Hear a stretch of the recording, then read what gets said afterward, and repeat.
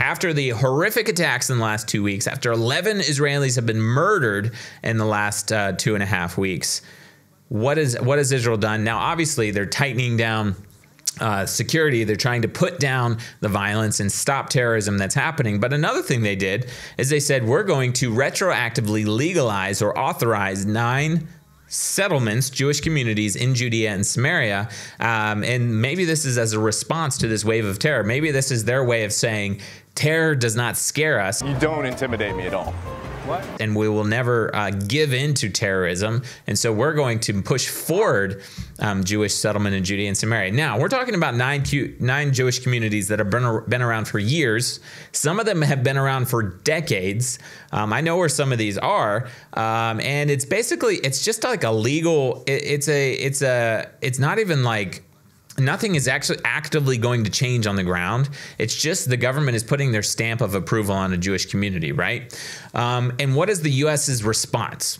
The U.S. doesn't have they don't they don't respond with an official statement of condemning Palestinian terrorism and violence, um, or standing with Israel um, with the, the the Israeli security officer that was killed yesterday. Nope, they put out an official statement. Antony Blinken, um, U.S. Secretary of State Antony Blinken, puts out an official statement, and he says, "quote."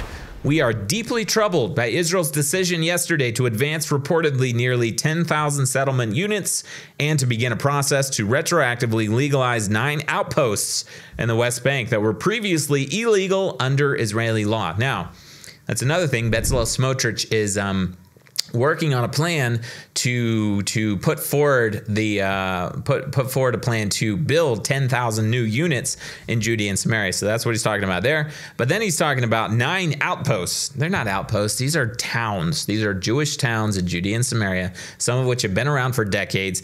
And uh, he says they're previously illegal under Israeli law. Now, how would you how like if you're an American citizen and a foreign country put out an official statement and says we are worried about that uh, an American decision to put their stamp of approval on a small town in the Midwest.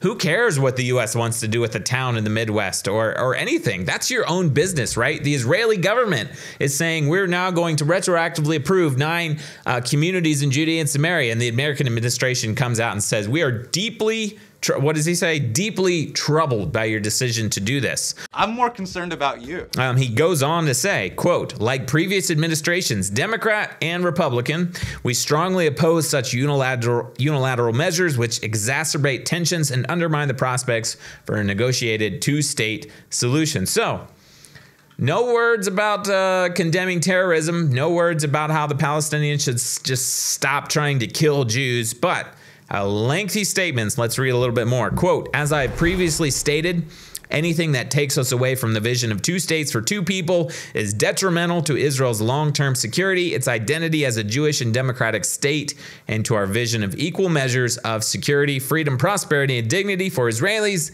and Palestinians alike. We call on all parties to avoid additional actions that can further escalate tensions in the region and to take practical steps that can, that can improve the well being of the Palestinian people. Again, 11 Israelis are murdered in the land of Israel, and this, the the only response that the U.S. Secretary of State can can put out is an official statement about how we need to uh, we need to have all this freedom, dignity, prosperity for Israelis and Palestinians alike. We don't care that it's just the Palestinians that are trying to kill Jews. Nope. All we care about is the, the vision for a two state solution. Who cares if that two state solution would involve the Palestinians basically murder, uh, shooting rockets into Israel and trying to murder more and more Jews, and it would be absolute suicide for the state of Israel? Nope, that's all we care about. Two state solution. He calls it detrimental. Words like vision of equal measures of security, freedom, blah, blah, blah. Mr. Secretary of State, 11 Israeli Jews were murdered by Palestinian extremists in the last two weeks. And all you can talk about is the fact that the Israeli government is going to retroactively approve Jewish communities in Judea and Samaria. It's completely insensitive, unfeeling, and detached from reality of what is happening here on the ground. Guys, if you're a US citizen, you should be outraged. You should be asking two questions.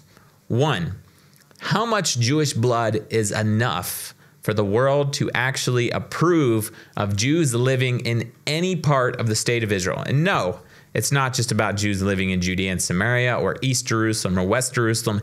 It's about Jews having the right to live and to thrive in any part of the land of Israel. How much Jewish blood is enough? That should be question number one. Question number two why is the U.S. sending millions, even hundreds of millions of dollars to the Palestinians when they're spending billions paying murderers and terrorists and their families um, every single year? If you're a U.S. citizen, call your state representatives and tell them you're not okay with U.S. tax dollars going to support the murderous Palestinian Authority regime and tell them it's against U.S. law. Cite the Taylor Force Act passed in 2018. Tell them you stand with Israel and you want to see your government more strongly supporting Israel. Guys, if you want to put your boots on the ground, don't forget to check out our upcoming volunteer program. It's this April. We're planting trees and we need your help. You can put your actual fingers and uh, feet in the soil of Israel's heartland. To find out more, go to serveisrael.com. Make sure you subscribe on whatever platform you're watching or listening. If we're going to catch Al Jazeera, we need you to subscribe here on YouTube. Um, as always, tune out the fake news and tune into what is actually happening here in the land of Israel. We're here every Monday through Friday with your direct connection to the land and people of Israel.